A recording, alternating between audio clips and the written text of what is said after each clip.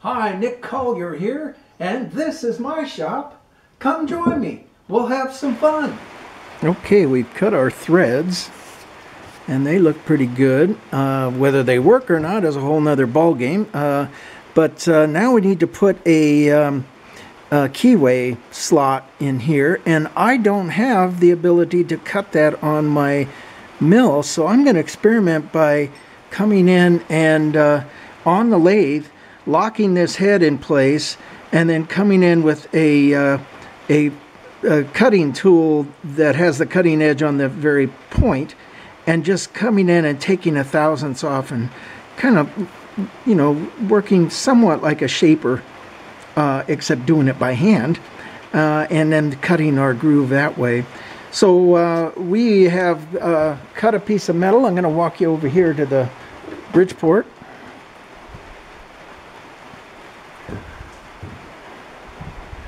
I found an old piece of, uh, you can see right there, it's got a couple of holes in it, uh, an old piece of, um, of uh, miner's uh, shaft. You know, basically what they did is they chiseled a hole in the, in the in the stone, and then they'd put dynamite in the holes. And this was uh, one of those hand chisels where you just, uh, you know, you hit it with a sledgehammer. I got this at a garage sale. Very hard material. I'm guessing 8620 or, you know, it was back in ancient times, so who knows what uh, size it, or what kind of metal it was, but very hard material.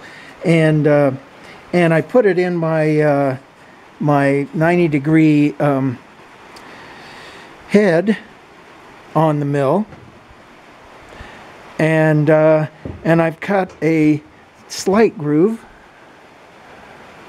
And you can see the groove there in the uh, in the end of the piece of material. It's the groove is not completely finished yet. Uh, we'll be cutting some more to make it wide enough so that um, so that the uh, this uh, lathe bit can fit in there. And then we'll go ahead and solder that silver solder that in place and uh, cut our our um, shape and cut our wedge and uh, get ourselves a nice uh, knife blade edge or not knife blade but uh, sharp edge and um, go ahead and and uh, put that in the lathe and see if we can kind of get a um, some sort of a shaper approach so hang in there with me. We're going to cut just a little bit more here and I'll be back in a little while.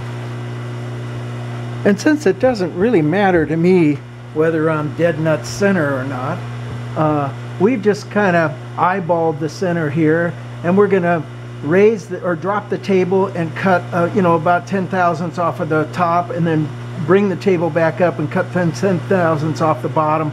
And we'll just keep expanding that hole until the uh, the little lathe bit fits. And once it fits, it, and it can be a sloppy fit because uh, we want actually a little bit of slop for this silver solder to, uh, to do its thing. So we're going to turn on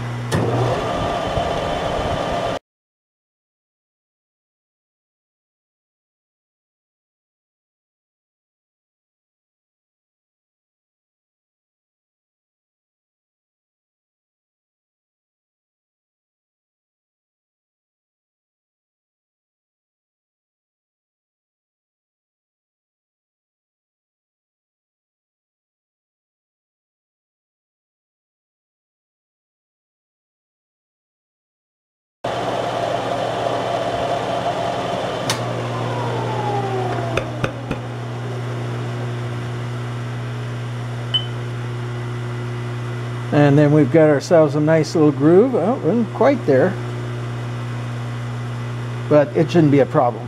We'll, uh, we'll just come in and it could just be a rough edge. In fact, it is a rough edge. All right, so uh, we've got that and we're going to uh, take it over to the welding table and silver solder this and uh, take it from there. We got our piece of rod cleared up, cleaned up. Uh, we've got, um, we took the uh, the bit itself and just you know hit it on the sander a little bit just to knock off that uh, that black um, fire scale is what I call it. Uh, we're uh, we've got a reasonably good fit here. We're gonna take some uh, silver solder and run it in on all surfaces so that it sits nicely.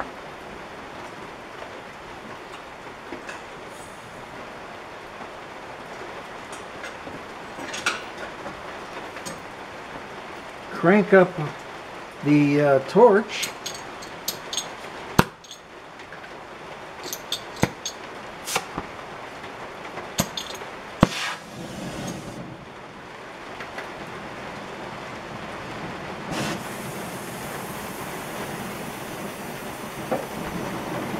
I just pretty much use my cutting tip for almost everything. It's fairly universal. Bring everything up to temperature.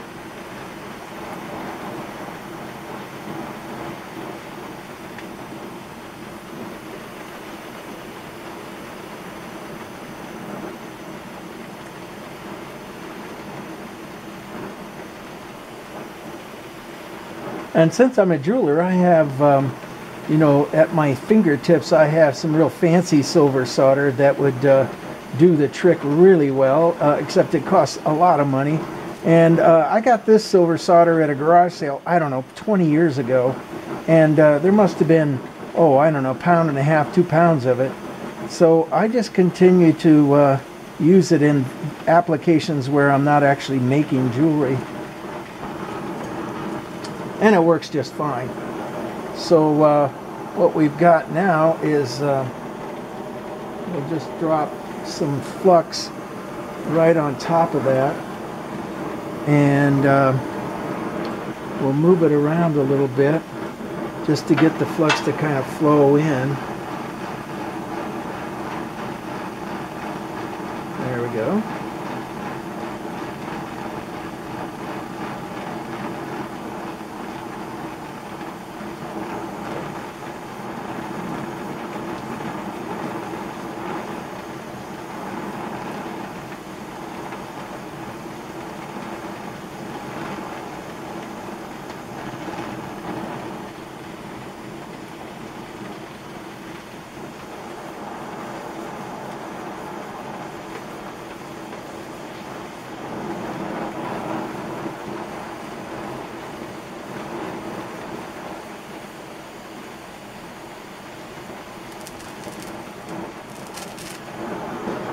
Get a nice flow there. Let's put a little on the other side.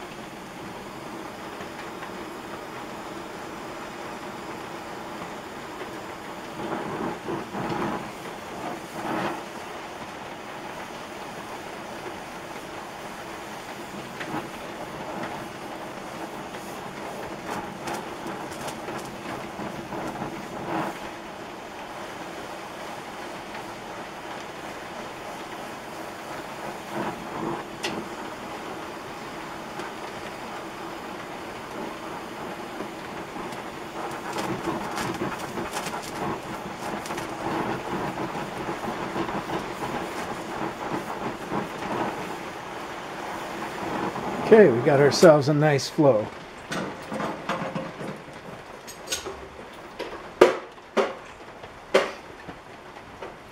We'll give that a chance to cool off and we'll come back after lunch. We've taken our um, our uh, bit and uh, silver soldered it and the solder took fairly well.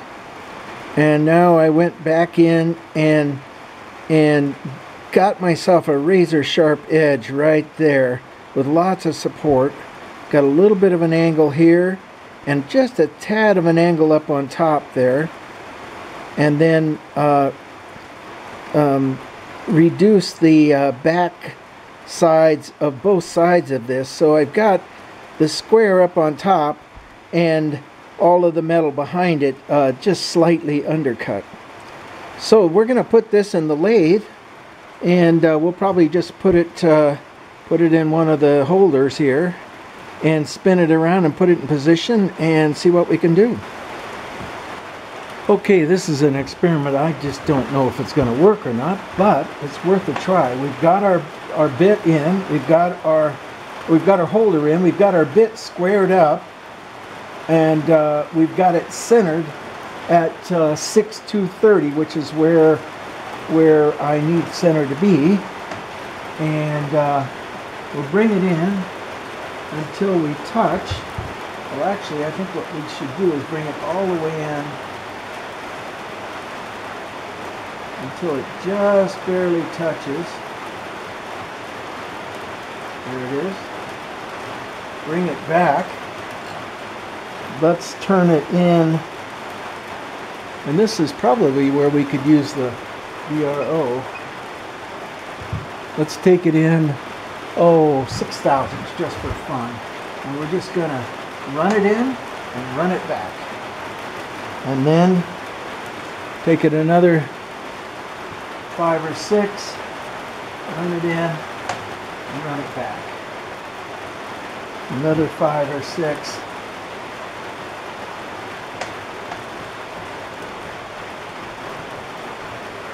yeah, I think it's actually working.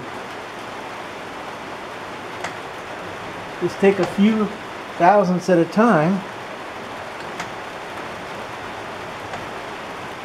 Now, uh, one thing I forgot to do was to lock this this down. And I don't think it's going to go anywhere.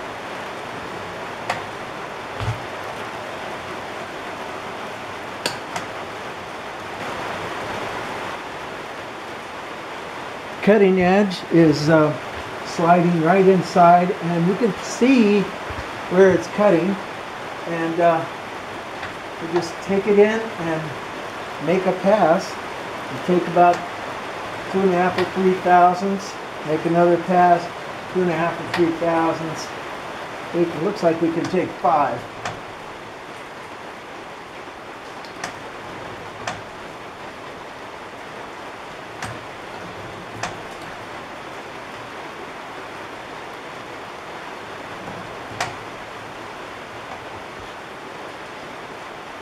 Yeah, I think it's doing what it wants to do.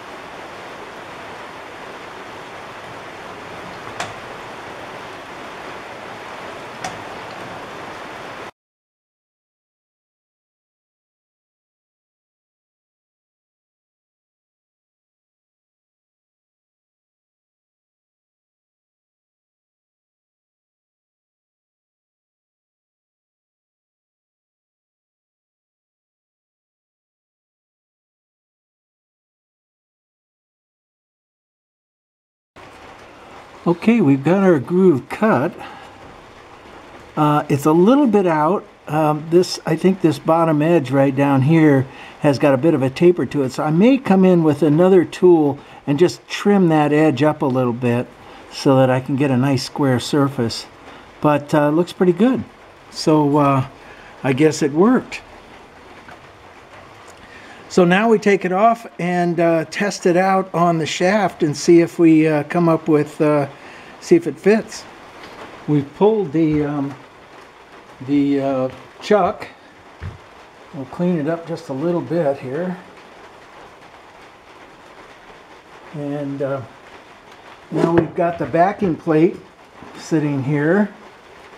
And uh, we want to make sure that we get all of the crud out of there put the backing plate up drop it in place. And it looks like the, uh, the keyway is still a little tight. So uh, we got to come in and play with that a little bit more. And uh, that shouldn't be a problem, but we're going to do that tomorrow. So uh, the way I can see it is my my bit was off just a little bit. So I just need to come in and square up that uh, this wall right here. This wall seems to be fine. This one's a little bit, it kicks in just a little bit. So I think I could just come in with a uh, with a regular um, uh, bit and uh, or either that or just turn that one around and, and do that. So uh, that all is going to happen tomorrow for the moment everything uh, goes back to shutdown. Okay, so the chuck itself, can we see the chuck? We cannot see the chuck. Okay, so let's come back a little bit. Let's just drop it down. The chuck itself is set up with uh, six lugs, which is pretty easy to do. So 6 divided into 360, 60 degrees, no sweat. This is a, uh, and so basically what we've done is we've come in and trammed our, our uh, mill. I've probably spent the last two hours doing that, tramming it, getting the rotary table on, squaring the rotary table up, centering it, and then centering the uh, the uh, chuck plate itself. So, and uh, the measurement from center is uh, 3 inches, 452 thousandths. And that takes us to the center of the bolt hole. And I'm set up on zero on the, uh, on the rotary table. And the rotary table, it works with uh, degrees. So you've got uh, there's a big wheel here that uh, has all the degrees on it, you know, 360 of them. Then these wheels here have minutes and seconds. This little area right here is seconds. So uh, it, it, gets pretty accurate. Um, and if you're not doing five or uh, complicated uh, um, uh, amounts of numbers, or I mean numbers of, of lug holes, then uh, then it's uh, it can go pretty easy. Uh, if you're doing complicated, it's better to go over to the uh, divider head. So we're going to start with number one here. We're going to uh, center it. We're going to drill it, and then drill it to size, and then we countersink it to fit the uh, the screw head, so that the screw head actually buries itself in the um, chuck plate itself. All right, let's get started. And I think we can go at a pretty fast pace here, at least for the smaller drills.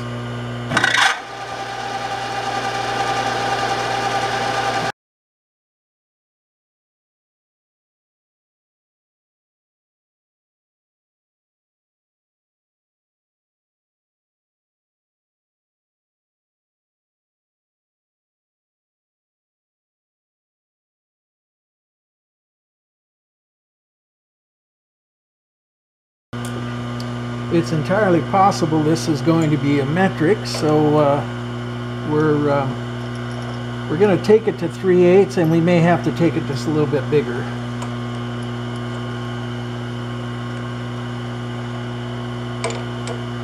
And for this drill bit, I'm going to slow things down.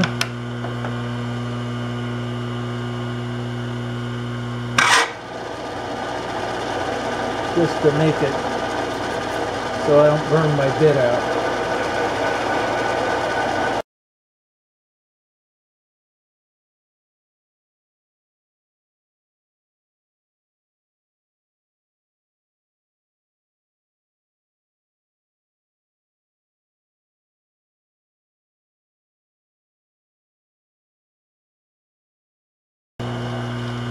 Nice snug fit. Okay.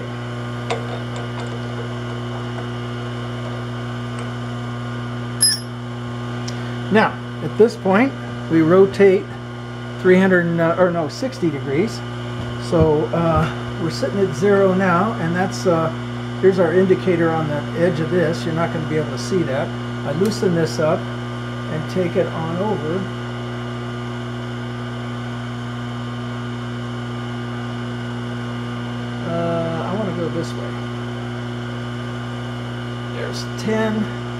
20, 30, 40, 50, 60, and then we bring the 60 all the way up to zero. And that locks in minutes. And we're right on the money.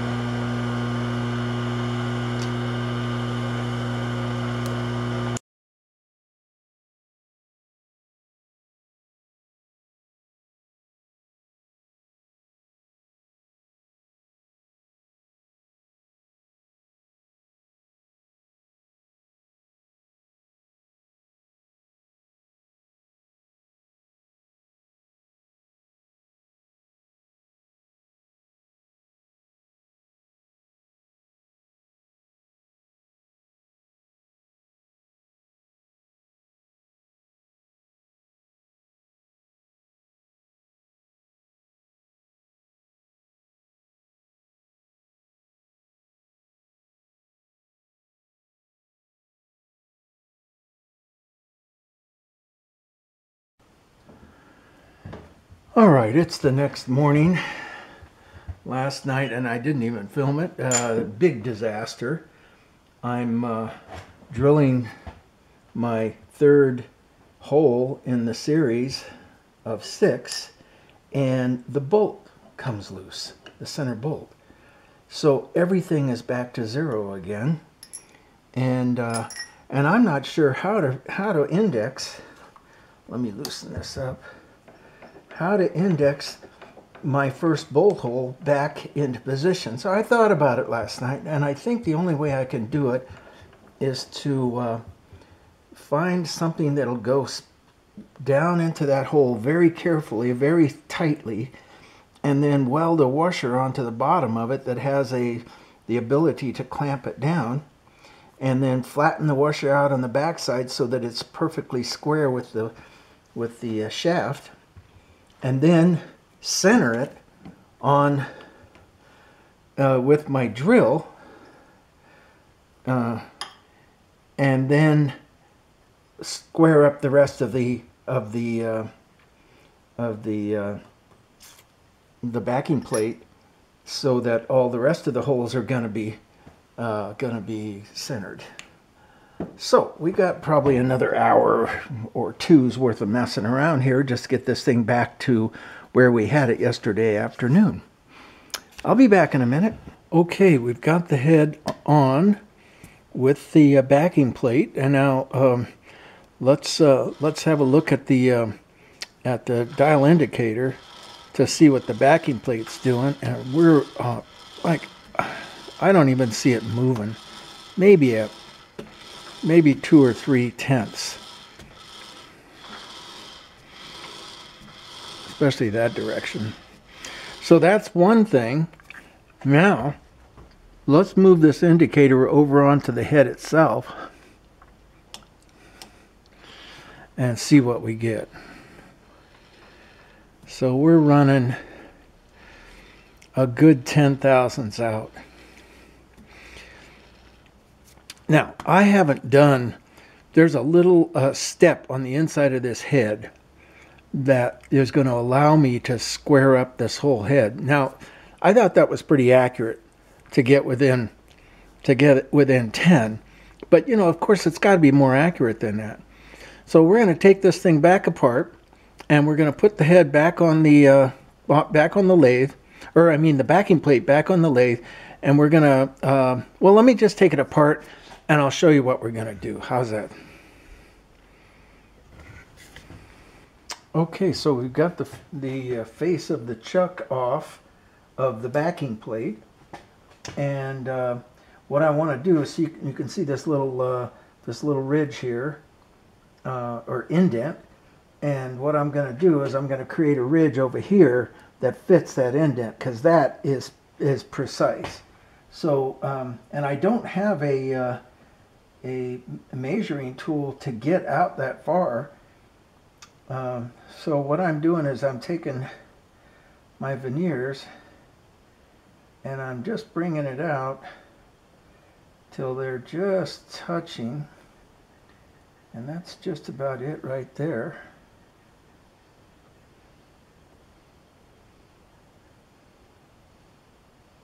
Well, that's a little bit too tight actually.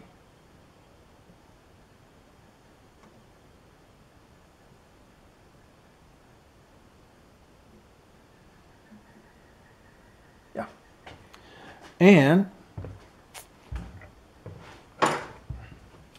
I do have a 7 inch micrometer. So we'll lay this down. How are we going to lay it down? There we go.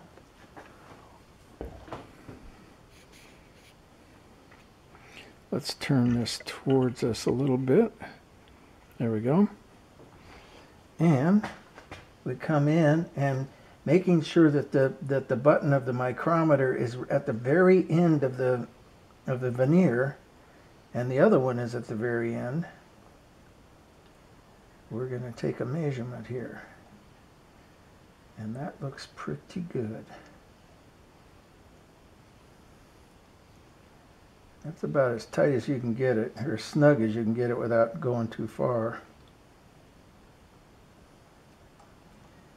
and we got a measurement of 7 3 12 so I've written that down. And uh, put everybody aside here for the moment.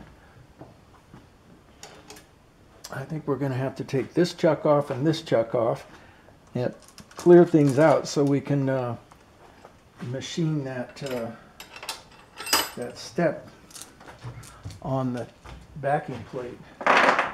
So I'll be back in a minute. Uh, Nik Colyer here, and uh, it's probably even another three months later.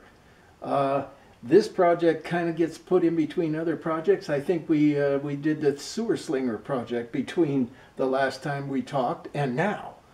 But we're at the end. Uh, we've got the thing bolted back up again. We we machined the uh, the face of this and got that all squared up and uh, we've put the, the chuck back on and now we're down to, and I'm going to bring you in a little closer so you can see. Okay, so we've got our head in place and we've put a piece of uh, drill rod in here. So we got a nice square surface to, to run from. And uh, so we're going to spin this baby, and uh, it's looking to me like we got about a two thousandths run out, which is about as good as it can get with a three-jaw chuck. So uh, this project's done, and uh, and it's only taken oh I don't know almost a year to uh, to get this thing up and running again. Uh, well, not the whole lathe, but just the head. Uh, but you know, hey, fit it in between other projects. Uh, this is Nik Colyer. Hey, uh, subscribe. We have a good time here. Um, this is Nik Colyer signing out.